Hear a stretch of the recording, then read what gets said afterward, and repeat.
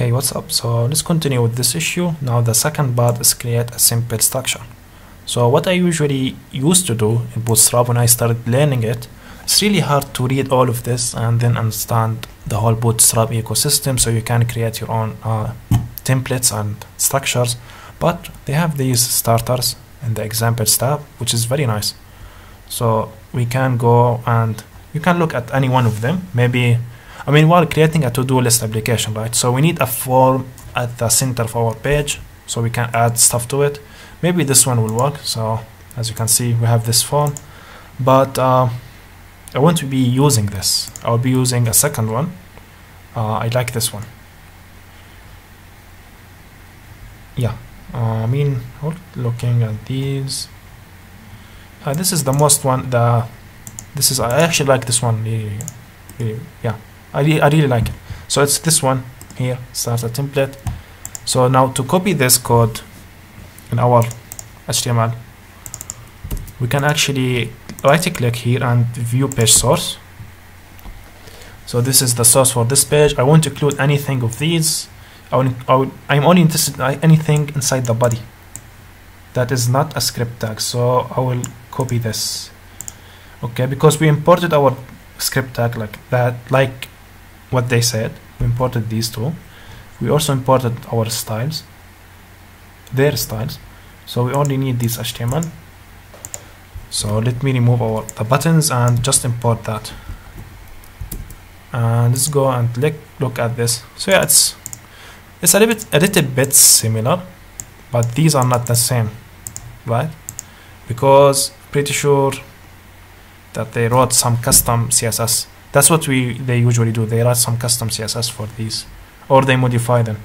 But yeah, as you can see, they wrote their custom CSS for this to be modified a little bit. So we can actually click on this link.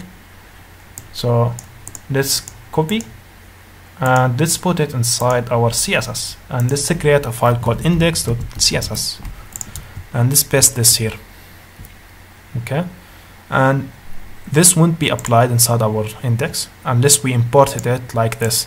And a quick thing you need to remember you need to always to import your uh, bootstrap at the end.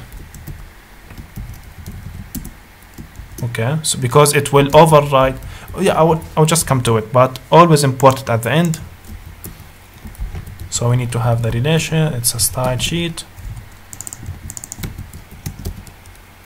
Where it will be go from the current directory remember dot means current directory go to css then grab the index of css now let's look at our code. Our page it will be the same which is very nice. Um, so there is a quick thing you need to remember about css importing using the link tag. Everything i mean the priority of the css follows the line number. So if there is maybe something in this in this that modifies a class that exists here or the same class exists here but with different rules this will override this because it's uh, like because it's um, because it comes later to it. So if this is the case if we imported our style before everything from here if it's uh, similar to the style here it will override it. But we won't see this thing here because I mean we only have like the body padding and the starter template. So what we can do to test it let me grab the this class that we have inside our nav bar. I mean don't need to do this but I will just do it with you. Uh, you see this class? Let me override it here. Let me import this. Background color. And I will mark it as important so as you can see, my styles override the styles from Bootstrap because it comes later to it. So what I can do, let me turn this here. This, and as you can see, Bootstrap now overrides my styles. So yeah, this is something to remember, not that important, but uh, something really cool to remember. Another thing I want to show you, uh, as you can see, our code now looks a little bit ugly. There is a very cool extension here called prettier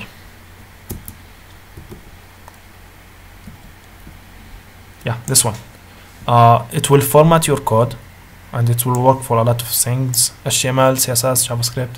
So install it and after install it go to files preferences settings and then open this with like this. Click on this one. It will open as JSON and you will need to put this so editor.format on save true so any anytime you save this it will be formatted. I'm not sure. Yeah so it's now formatted. Not sure why my control s does not work but this is how prettier will format it for you. If prettier does not work like it did for me just click control shift p or command shift p if you're on mac.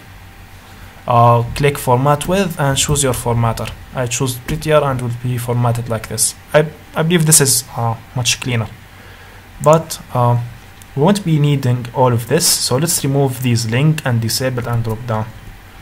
So there is the link this li this is the disabled one and this is the drop down. Now yeah this is actually much cleaner and we don't need these two the search and the search button and the search input. So we can remove this it's inside this form. As you can see this is the button that says search and this is the input. Nice. So I think this is enough as a starting point but let's oh not but let's, now let's just uh, commit this. So type reset this will reset the whole view in your terminal and now put git uh, dot add everything git commit create or inside the codes to remember this. Create basic structure. And let's just put the ID of the issue to reference it. Now let's git push. Origin. Master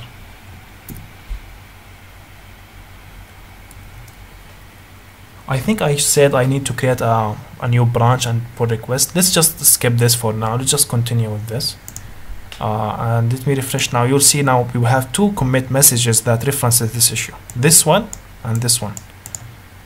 And to me I think this is a good structure to start with.